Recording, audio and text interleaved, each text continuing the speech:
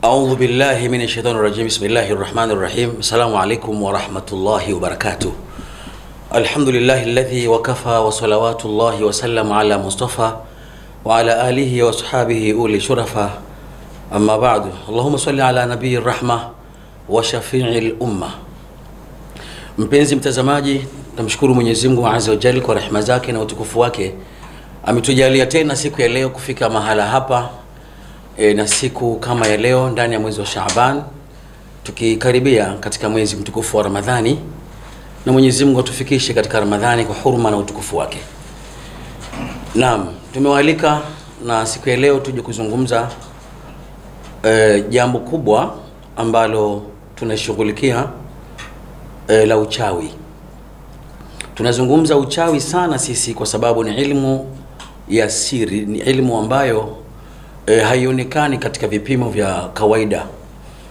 Katika ultrasound huwezi kuona uchawi, lakini pia hata katika x-ray huwezi kuona uchawi, hata kwenye microscope huwezi kuona uchawi, na ni vitu ambavyo vinasumbua kihakika. Watu wanateseka, e, watu wanayumba kweli kweli, wanamaliza, wanafilisika kwa sababu ya uchawi. Lakini leo katika maudhui yangu nilikuwa natamani kwanza niwatosheleze walau kwa muktasar watu ambao hawaamini uchawi. Kuna baadhi ya watu wao e, hawaamini uchawi na wala hawakubali kabisa kama kuna kitu kinaitwa uchawi. Jambo la mwanzo niseme tu kwamba Mwenyezi Mungu Azza wa Jalla yeye e, mwenyewe ametutaka si tuamini vile ambavyo havionekani. Miongoni mwa vitu ambavyo havionekani ni malaika, hatuwezi kuona kwa macho, majini hatuwezi kuona kwa macho, na vitu vingi ambavyo Mwenyezi Mungu hajavidhihirisha kwetu kupitia Bwana Mtume swalla sallam. E, vyote hivyo tunapaswa, madamu vimesemwa na Mwenyezi Mungu, basi lazima tuviamini.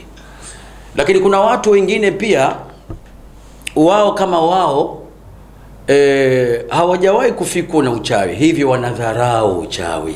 Mimi niseme chukua tahadhari kubwa sana na muombe Mwenyezi Mungu usifikwe na kitu kinaitwa uchawi, usifikwe usi, oh, usiombe urogwe. Uchawi ni kitu hatari kweli kweli. Uchawi unadhuru akitaka, lakini Mwenyezi Mungu azza wa ndio raha ya uchawi. Mwenyezi Mungu anasema wamahum bidharina bihi min ahadin illa biidhnillahi. Bwana, uzuri wa uchawi ndio maana binafsi ni katika waumini wale watu ambao hawaogopi. Mimi na naamini uchawi upo, lakini siogopi. Ehe, kwa nini siogopi? Mungu ametutoa ame, ame, ame, wasiwasi kwenye nyoyo zetu kwamba uchawi haumdhuru yoyote mpaka kwa idhini yake Allah. Kama Mungu hakutaka uchawi haumfiki yoyote miongoni mwetu. Na wewe pia na, ku, na kuomba tafadhali, lakini pia nakuhusia jaza hofu yako kumwogopa Allah, usiogope uchawi, kwa sababu uchawi haukutokufika ila atake Mwenyezi Mungu azza wa jalla. Sasa leo nataka ni, ni, ni, ni kusimulieni walau baadhi ya habari e, wakati wa Nabii Musa alayhi salatu wassalam kuna mtikisiko kidogo Nabii Musa aliupata. Siku moja kulikuwa kuna debate. Debate imeandaliwa na Firaun kama vile debate ya Mazinge na Wakristo. Ehe, basi Mwenyezi Mungu alia, eh, na, na, ma, Firauni aliandaa debate na Musa ili kuwashindanisha kuona Musa anachoringia nini, kama wao wanavyo vitu imara ambavyo vina, vinaweza kumtisha vinaweza vikamsambaratisha Musa kabisa na kuonyesha uwezo wao na nguvu yao. Na Firauni aliandaa debate hiyo, na kweli walihudhuria wachawi wengi, na Musa akawepo katika hiyo debate kuangalia nini kitakachojiri siku hiyo, hali ya kuwa Musa hajajiandaa, hajui nini anakwenda kufanya. Mwenyezi Mungu anasimulia kwenye Qur'ani, qalu ya Musa imma an tulqiya wa imma an nakuna awwala man alqa. Habari ilianzia hapa baada ya kukutana tu kile kikundi cha wachawi na Firaun, pale pale kiongozi wa wachawi master akatangaza akasema, Musa, unaanza wewe, tuanze sisi. Unajua, ukikutana na mtu ambaye anajiamini huwa mara nyingi ana anakuwa anakupa option Amu, anza wewe nianze mimi. Ujue mtu huyo anajiamini sana, na wachawi wanajiamini katika watu ambao wanajiamini sana ni wachawi, kwa sababu wanaamini kwamba wanaweza kufanya kitu ambacho wewe huna elimu nacho, na akakuingilia kwenye nyumba yako usimuone, na akatoka usimuone, na wala usijue aliyokufanyia hicho ulichokikuta ni nini, nani, huwezi kukuta. Kwa hivyo akamwambia qalu ya Musa imma an tulqiya wa imma an nakuna au an man alqa.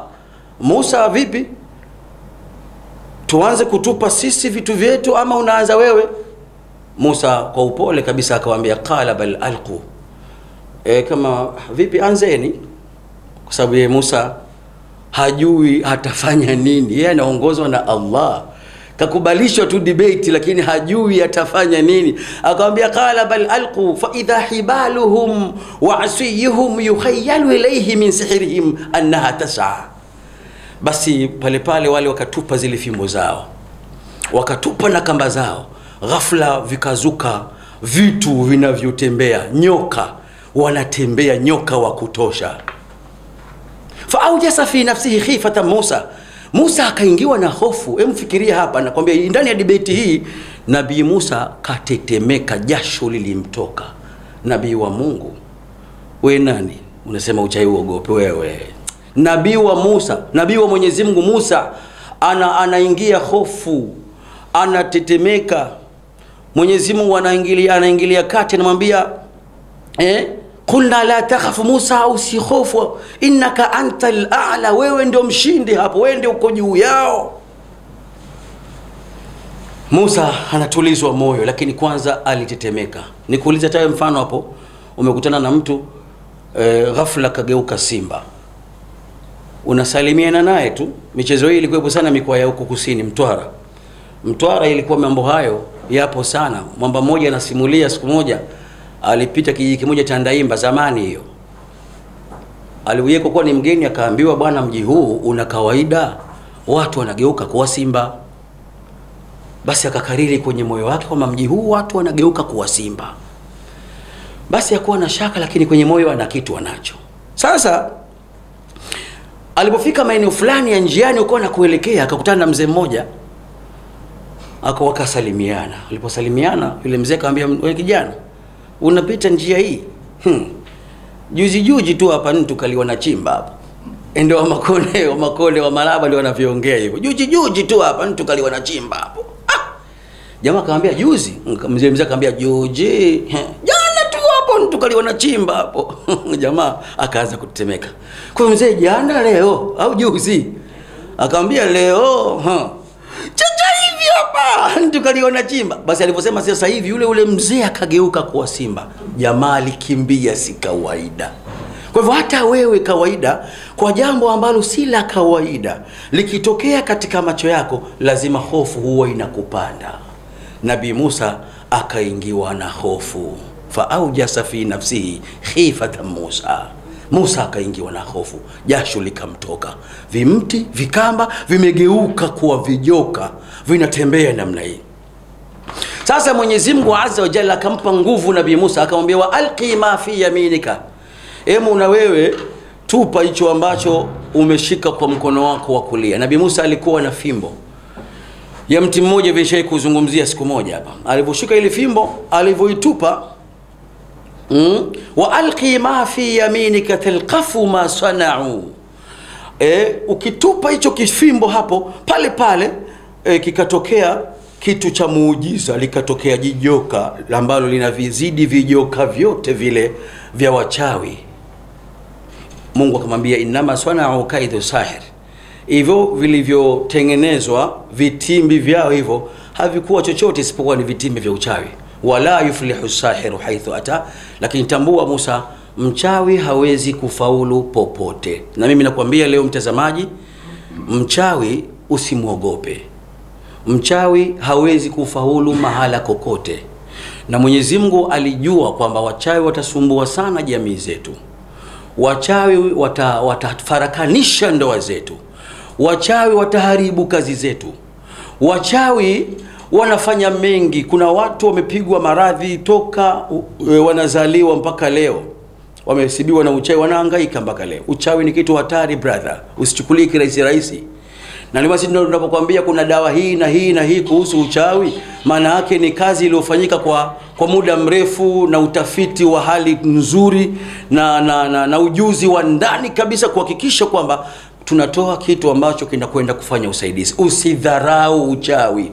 Yoyote mwenye kusema uchawi si lolote si chochote, basi jambo la mwanzo kabisa awe na tawakuli nzuri kwa Allah, la pili asimame vizuri kwenye dini, lakini la tatu awe anajua ilmu ambayo Mungu ametoa katika hii miti vinavyobatilisha na kuharibu uchawi. Kuna watu leo wanatembea na vyeti barabarani, wamemaliza form 6 chuo kikuu, wana PhD, maskini ya Mungu, wanazurura uchawi. Mungu mwenyewe kasema uchawi una nguvu. Ndio maana hata mwenyewe kwenye Qur'an Allah amesema kwenye Qur'ani kwamba wayataalamuna ma yufarriquna bihi baina almar'i wa zawji. Uchawi uki, mtu akitaka e, ndoa ivunjike siku moja tu ulali ulali, na ndoa nyingi zimeharibika zimevunjika kwa sababu ya uchawi. Kuna wakwe wachawi, kuna mawifi wachawi, hivyo kuna wanawake waliolewa wachawi, wanaroga watoto za watu, hawatambui familia zao hivyo lakini kuna mabosi wachawi, lakini pia kuna wafanyakazi wachawi. Siku hizi mabosi hawaelewani na wafanyakazi mpaka warogwe, wanarogwa sana. Lakini pia niilimishe jamii ya Kitanzania, lakini pia jamii ya watu wa ulimwengu, heshima, heshimu watu ili kujihadhari na vitimbi vya wachawi. Heshimu watu, acha dharau. Mtu usiyemjua mheshimu. Waruguru wanamsema wanasema, mwana umlelile mkulumiago. Mtoto ambaye hujamzaa wewe mkubwa wa mwenzio. Watu wa kareti wanaja wanasema hivi, ukikunjiwa ngumi hata na mtoto mdogo piga kweli. Madamu kakunja ngumi kupambana na wewe, usiseme mtoto mdogo, baba utadhalilika wewe. Kupiga kweli, usite utani. Acheni dharau, mabosi makazini, acheni dharau wafanyakazi wa sehemu mbalimbali, acha dharau. Ukiwa na dharau, ndugu yangu, utoboi. Mimi siku moja nilikwenda kwenye ofisi moja ya serikali, sihitaji, wallahi, kijana wa hapo ana dharau balaa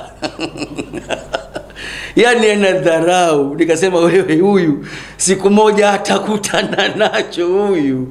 Hivi unajua, unaweza ukatolewa ofisini wewe mwenyewe ukakataa kwenda kazini, unajua watu wana vitu shekhe, okay, unapigwa wewe ofisini uendi mwenyewe, sio umefukuzwa, hujisikii kabisa, na ukifatwa unakuwa mkali, unalala balaa, kazi inakufia hapo. Kwa hivyo ukipata nafasi sehemu yote ya kazi, heshimu watu.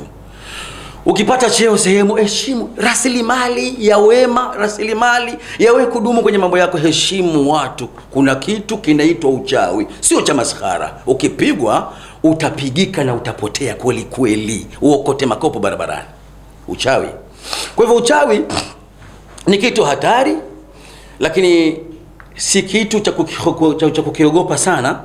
Kikubwa wewe mwogope Mwenyezi Mungu, jikinge kwa Allah. Tumeelekezwa adhkari, tumeelekezwa vitu mbalimbali, lakini mimi binafsi niliwahi kusimulia baadhi ya historia ya maisha haya ya tiba. Nilianza muda mrefu, mashallah, karibuni miaka 20 sasa hivi. Ehe, lakini siku moja Mungu aliamua kunipa zawadi ya ule mti mkuu. Ile dawa ya mti mkuu, billahi wa rasuli, na hapa mbele ya Mwenyezi Mungu, imekuwa ni solution ya watu wengi kweli kweli. Mfano e, mti mkuu katika miongoni mwa kazi zake kiukweli unabathulisha uchawi kwa muda mfupi sana. Rashid, unabathulisha uchawi kwa muda mfupi sana, uchawi sana. Mti mkuu, dawa hii sasa hivi nimeita mti mkuu plus, na ndio ambayo naipeleka sasa hivi katika nyumba za watu. Mti mkuu plus naipeleka katika ofisi za watu. Mti mkuu plus napeleka katika maisha ya binadamu, ukiwa Muislamu, usiwe Muislamu, uwe mpagani. Mti mkuu kwa sasa hivi e, Mungu ametia kubuli yake, ndio dawa ya haraka sana inayobatilisha uchawi katika miongoni mwa dawa ambazo ni the best kweli kweli, inafanya kazi haraka kwa mtu aliyerogwa akaharibiwa maisha yake. Nitaka nikupe mfano hapa, sauti ya bwana mmoja rafiki yangu kipenzi, yuko uh, katika nchi za kifalme za Kiarabu anaeleza faida na uzuri na, na namna gani amepata matumaini makubwa juu ya dawa hii ya mti mkuu. Alikuwa haheshimiki kazini, lakini pia haheshimiki mtaani kwao. Watoto wake hawalali, wanasumbuka kwa dhiki na mitihani, kila siku vurugu, kila hivi hivi, hana raha. Alipoipata dawa hii ya mti mkuu, sasa hivi anasema naishi kama simba. Sijui ndio hii? Subhanallah, hapana. mambo ya kilicho mti mkuu nini ule mti mkuu plus si Oho, mashallah.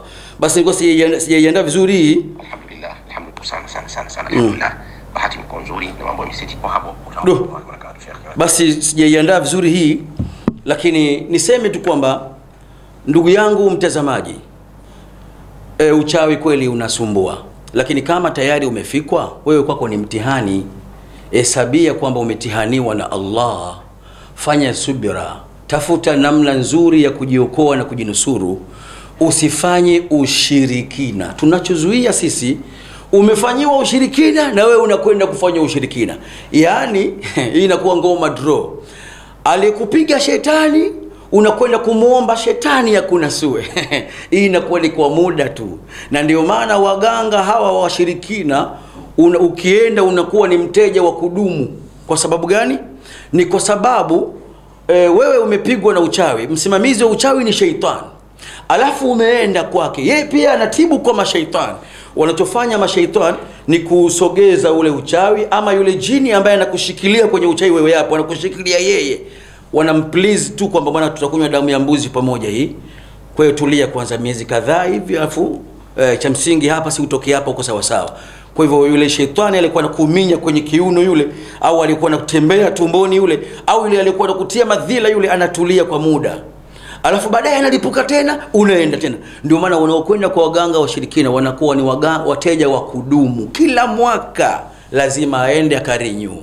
Unakuwa mtumishi wa shetani na ukifa unakwenda motoni. Kwa hivyo uchawi, ndugu zangu, ni kitu ambacho kinabatulika na tume, na, naomba utembee kifua mbele sasa hivi. Mungu akujalie kufikwa na dawa ya mti mkuu plus. Sasa hivi ukija kwetu sema nataka mti mkuu plus, sema hivyo. Tumefanya hivi kwa sababu hatutaki janja janja. Tulikuwa tuna uwezo wa kuuza dawa mbili kwa pamoja. Mti mkuu plus tumeufanya kwa kuwa tumeongeza miti mitatu ndani. Miti hiyo tumeweka kwenye password inaitwa kibindu kigodi. Ukitafsiri hayo maneno utapata nini ni miti gani hiyo. Waganga tuna, tuna, tuna, tunafanya hivi kwa sababu tu waganga wamekuwa hadhiri, vichwa yuko hivi, wanasikilizia si tuseme na wao wafanye huko ndio maana nimegeuza nimepiga mti mkuu plus na maana yangu eh. Sasa kibindu kigodi, kuna vitu tumeweka humu ndani. Vitu hivyo sasa kazi yake ni kurejesha ubaya. Juzi kati nilipigiwa simu na mtu mmoja, na naomba ili pia niliweke vizuri. Kuna mtu alipiga simu akasema, Sheikh Jafari, je, kuchukua gome la mti mkuu kuliweka ndani sio ushirikina? Alikuwa amenisaidia kwa sababu leo nimepata nafasi ya kulisema mbele yako na wewe upate ilmu. Ndugu zangu, shirki tafsiri yake ni kuamini, kuitikadi eh? an, an ta'taqida anna almakhluqa yadhurru wa yanfa'u biduni idhni llahi ta'ala, kuamini na kuitikadi kwamba eh, hakika ya kiumbe mwenzio anaweza kukudhuru ama kukunufaisha bila idhini ya Mungu. Zingatia hili basi. Ukiamini gome la mti mkuu lenyewe kama lenyewe litanikinga mimi, wewe ni mshirikina. Lakini ukisema gome la mti mkuu, mti huu ni wa ajabu, Allah ameweka siri yake kwa idhini yake Mwenyezi Mungu, gome hili nikiliweka kwangu wachawi hawaji. Wewe umejikinga kisheria. E, kujikinga si haramu, hii inaitwa tawakuli sawa sawa. Umejenga mla, nyumba umeweka mlango. Mungu kweli analinda, lakini ukijenga nyumba haina milango utaibiwa kaka, na Mungu haingilii. E, weka mlango ndio kutawakali huko, na kama una malimali weka na mtu mwingine akaye nje e, anaitwa security. Kumweka yule sio kwamba yule ndo kinga, la kuna nyumba zina maskari wengi na wajambazi wamevamia, wamechukua mzigo, wameondoka. Ile ni asbabu, ile ndio tawakuli tu, kutazamie tazamie kule nje kuna nani adui anakuja. Hata Mtume swalla alikuwa na bodyguard. kwenye hema ya mtume nje kulikuwa na miamba unafikiri mtume alikuwa anategemea kuwategemea wale Aa, au mtume ndio alikuwa mshirikina kwa sababu wale ndio walinzi wake sio hiyo ndio tawakuli kaweka bodyguard nje mtume kukinga hema yake na kumwe, kumweka kwenye fence yeye mtume wanamzunguka namna hii. Tafsiri yake anatawakali kwa allah. Mungu anataka tuishi kwa asbabi. Si umenielewa sijui mtazamaji wewe maanake kila siku unazua lingine maskini ya mungu. Hiyo ndio utawakul Nabi yusufu alaihi salatu wassalam alishonewa kitambaa e, cha babu yake e, ishaqa cha kanzu akatengenezewa kile kitambaa akatiwa hivi akavikwa ili asudhiriwe na mashaitani. Nabii wa mungu yakubu kafanya hivyo. Sio shirki ile ni tawakuli tu. Bado anategemewa nani? Allah. Cha msingi wewe usifanye kitu ukiamini hicho chenyewe ndio kitakukinga. Ah, ah, mwasema hivi kwa idhini yake mwenyezi mungu. Kwa hivyo gome la mti mkuu la mti huu lenyewe kama lenye huu hii ni nguvu ya mwenyezi mungu. Hii ni allah anaonyesha uweza wake kupitia viumbe wake kwamba vinawezekana. Sijui nitakuwa nimeeleweka. Kwa hivyo ulinzi ambao unapaswa kulindwa wewe lindwa na allah. Tafuta sababu. Funga mlango. Nyumba yako ya milioni kumi. Usikubali hivi hivi ikae tafuta kitu cha halali hakina sheitani wala hakijaandikwa talasimu jina la ibilisi ukaweka shida inakuja kwa waganga washirikina sasa. Wanaandika koo za mashaitani haya haya asrau bilhuduri wa bihaqi hadhihi lasmai karushi sura mamu qayyum. inaandikwa koo ya sheitani pale inarudiwa mara sabiin anakuja mwenyewe pale kisheitani kijini kinakuja kuchukua ripoti. Anaambiwa hii limekuandika tunampa bwana bakari almas uwe ndio unamlinda sasa asisumbuliwe kwa hivyo unachukuliwa ile karatasi unaikunja bwana bakari almas eh, unaikunja namna hii unafutia unaishonea na kitambaa unashtia kiunoni namna hii. Unajiona mwamba ukifika kwetu. Usinitanie na vitu vyangu wewe. Hapa ni baba wewe mshirikina brother. Kwa sababu gani? Wewe moja kwa moja umelindwa na sheitani umemwita sheitani akulinde sio allah. Kwa hivyo kuvaa hirizi na ndio maana kuna baadhi ya wanachuoni wamejihusisha hirizi lakini hirizi yenyewe wanasema iwe ni qurani lakini hirizi ambazo zinatumika hizi ni koo za maibili mashetani tunawaita watukinge badala ya allah. Kwa hivyo nikuondoshe hofu juu ya hilo. Mti mkuu ni mti wa ajabu na mwenyezi mungu ametaka hivyo ili mradi miti hii tusaidie sisi na ndio maana unatawakali ukiumwa kichwa unakunywa panado. Eh, sio kwamba panado ile ndio inapona inaponya kichwa au homa. Kuna mwenzio anakunywa mpaka nane zile kichwa hakitulii kwa nini? Unatawakali tu mungu ndio kupitia ile sababu iwe, iwe, iwe wewe upone kichwa chako. Lakini mungu asipotaka utakunywa arobaini panado na akinyamazi mpaka ufe. Eh. kwa hivyo tawakuli imeruhusiwa sababu tumeumbwa kuishi kwa sababu hapa ulimwenguni. Sasa mti huu naomba kwa idhini yake mwenyezi mungu ukawafaya kila mtu katika nyumba yake. Ni mti wa ajabu na tumeuleta kwa sababu maalum na wakati mungu kapanga. Nilikuwa nikiutumia mti huu katika mia maisha yangu yote kwa watu wangu kwa siri. Sasa imekuja dhahir na kila mtu kabuni mti wake ila mimi itaendelea kubaki mti mkuu ya kwetu inshallah inayopatikana msikiti wa mtoro kariakoo. Mti huo mti mkuu plus hii tumeongeza faida. Tunataka watoto wenye kuanguka mashuleni wanywe dawa hii watu wazima wenye kuangaika na maisha yao hapo ulimwenguni wanywe dawa hii na waoge kwa, kwa, kwa mujibu wa maelekezo yetu. Lakini pamoja na hayo wale wote waliosumbuliwa na maisha wamefungwa wakafungika. Wanayofanya hayawi watumie dawa hii kwa kuoga na kunywa.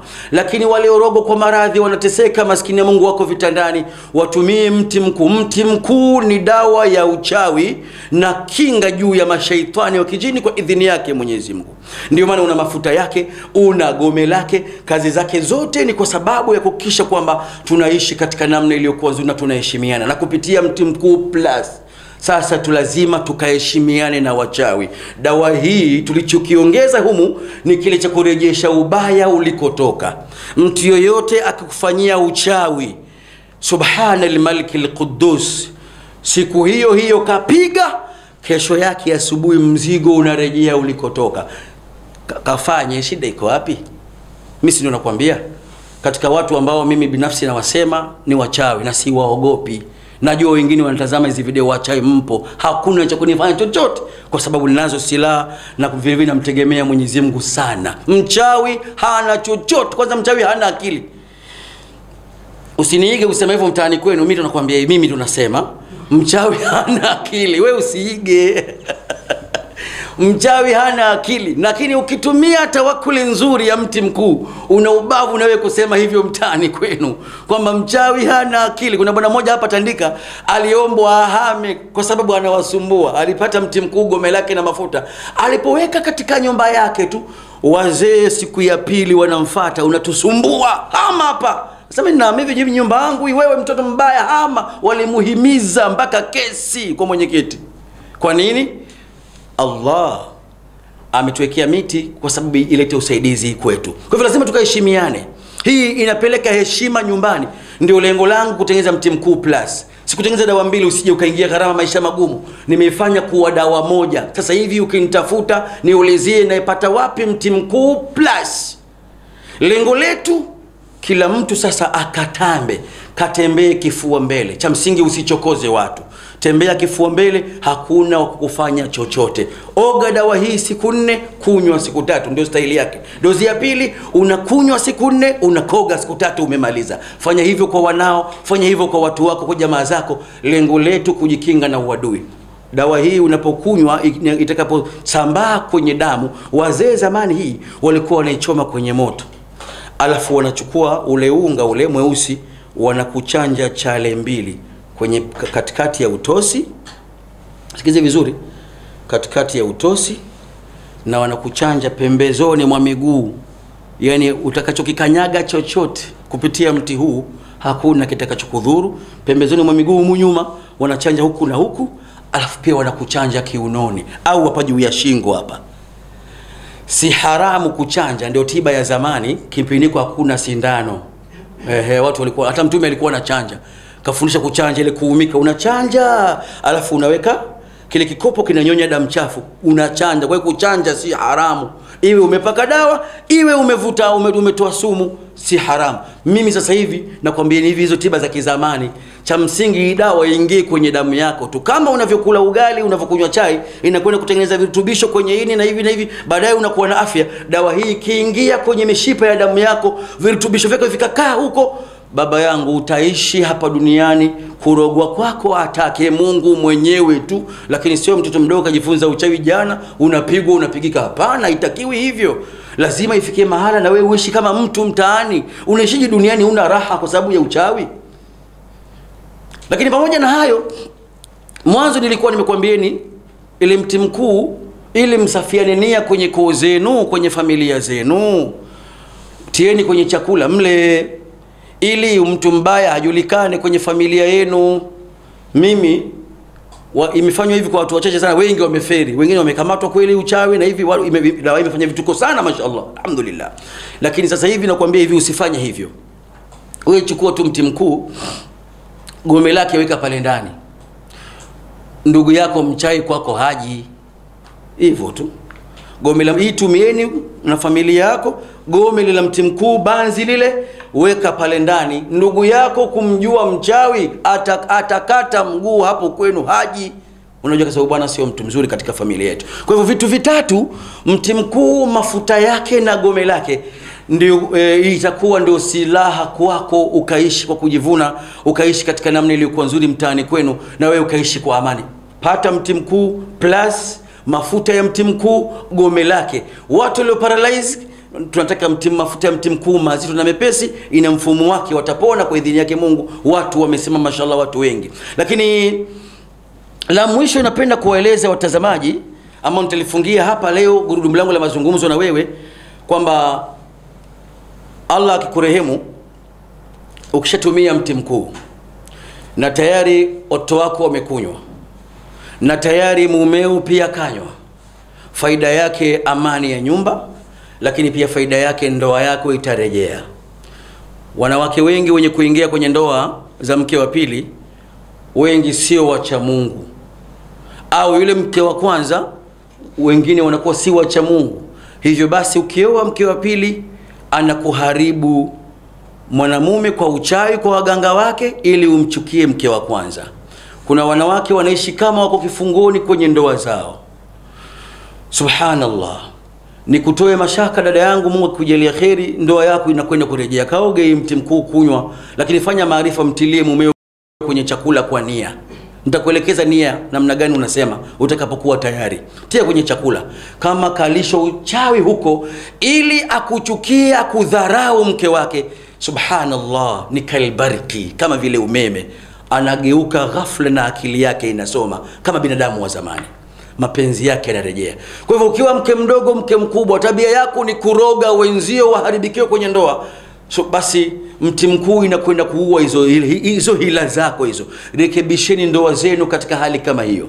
Lakini pia hata bosi kazini, kuna mabosi wanarogwa, wanakuchukia, wanapenda wengine tu, unasema bila sababu tu. Kaoge mti mkuu huenda umepigwa jini kisinambi. Kuna rafiki yangu anaitwa Ali Wambe Wambe, yuko Singida, anasema kuna jini kiboko huyo anaitwa jini kisinambi. Jini huyo ukipigwa naye jini kisinambi, subhanallah, hata jambo fungu la hela lile unakwenda kuliokota, ukifika pale unakuta kuna, kuna mwamba kalipitia nduki kaokota yeye. Yani wewe hufanikiwagi tu, jini kisinambi huyo unaweza una mipango mizuri, kesho ndo siku yake, muda ukifika, bosi wako mwanae kagongo na pikipiki, mguu umevunjika, yuko hospitali. Yani ili mradi isifanikiwe tu, wale wasiofanikiwa majambo yamekwama, na kuomba tafadhali, inshallah njoo utumie mti mkuu mafuta yake, mti mkuu plus mafuta yake na gome lake, bihaulillahi taala, inshallah kila kitu kitakuwa sawa na rehma za Mwenyezi Mungu zitakuwa juu yako inshallah. Tusiwe washirikina, huu ndio usiwa wangu inshallah. Njia Mungu katuletea tutumie kwa wakati, na usidharau uchawi mpaka pale utakapoona kwamba uko sawasawa sawa, ehe, na mwili wako uko sawasawa sawa juu ya kujikinga na uadui huo. Insha Allah lolote linaweza ukafanya. Cha msingi tumwogope Mwenyezi Mungu, tusimame katika njia ya tauhid, tumpokeshe Allah, tumtegemee Mwenyezi Mungu kila jambo, ndio mafanikio yetu. Ramadhani inakuja inshallah, ofa zinaendelea za vitu mbalimbali ikiwemo dawa vidonda vya tumbo e, ndani ya kumi la kwanza la Ramadhani tutamalizia hapo katika ofa ya dawa hiyo, na inshallah mti mkuu unapatikana msikiti wa Mtoro Kariakoo. Namba za simu ziko hapo, tupigie simu, njoo tuonane, tuzungumze inshallah. Huenda ikawa sababu ya wewe pia kupumzika na hayo ambayo yanakusumbua na maradhi na mitihani ulionayo, kwa idhini yake na rehema yake Mwenyezi Mungu. Lakini e, baada ya hapa e, ni kuombe tafadhali, inshallah endelea kufuatilia hizi chaneli na usiache basi kucomment na kusubscribe inshallah. E, usiache kusubscribe inshallah na kucomment na kushare ili mradi tuendelee kupata hizi taarifa kwa usahihi zaidi. Wallahu aalam, wassalamu alaikum warahmatullahi wabarakatuh.